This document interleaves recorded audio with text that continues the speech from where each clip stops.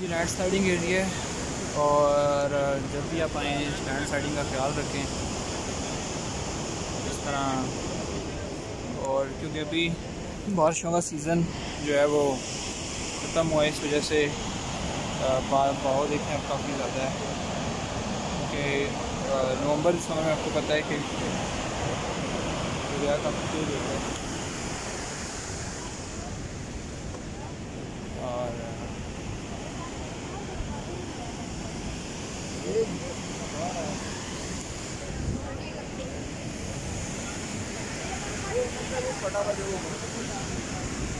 वो नीचे? हाँ वो उस तरफ़ है।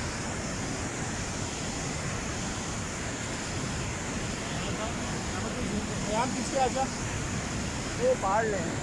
हटो यान।